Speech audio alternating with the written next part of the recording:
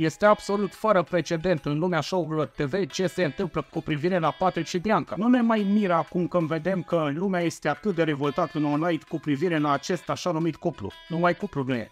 Nu ați văzut cum o mângâie Patrick pe Bianca, zici că îl felicitam pe fratele de ziua lui. Nu mai spunem că atunci când se sărută numai așa se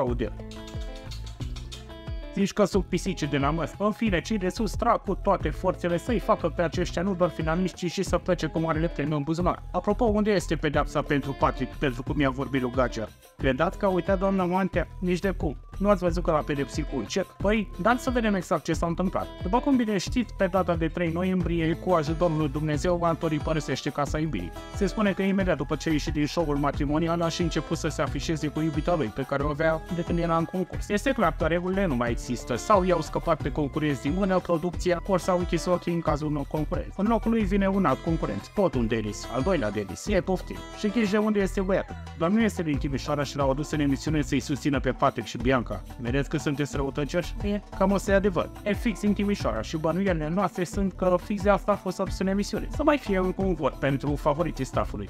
Că publicul mai mult îi înșură decât îi apreciază. Cel puțin să vedem noi pe grupurile de socializare dedicate show-ului. Introducerea lui Denis a fost privită de mulți ca o mișcare deliberată de a adăuga un aliat suplimentar pentru cuplul Patrick Bianca, consolidându-le astfel poziția în concurs. Comentariile de pe rețelele sociale sunt mai dure ca oricând. Unii susțin că producția aranja lucrurile astfel încât cei doi să ajungă în finală și chiar să câștige.